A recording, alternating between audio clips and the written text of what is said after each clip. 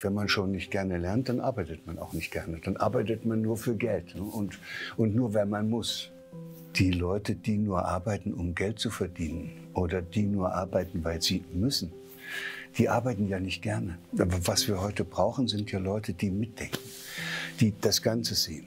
Da, da braucht man welche, die wirklich auch nett zu den Kunden sind und die auch immer wieder Möglichkeiten finden, mit den Zulieferern so eine Beziehung aufzubauen, dass da was Langfristiges und Stabiles daraus werden kann. Das ist das, worauf es eigentlich ankommt.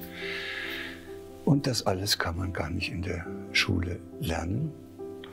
Und das alles ist aber das, was im 21. Jahrhundert immer wichtiger wird. Wir brauchen keine abgerichteten Zirkustiere, sondern wir brauchen tatsächlich Menschen, die Freude an dem haben, was sie tun.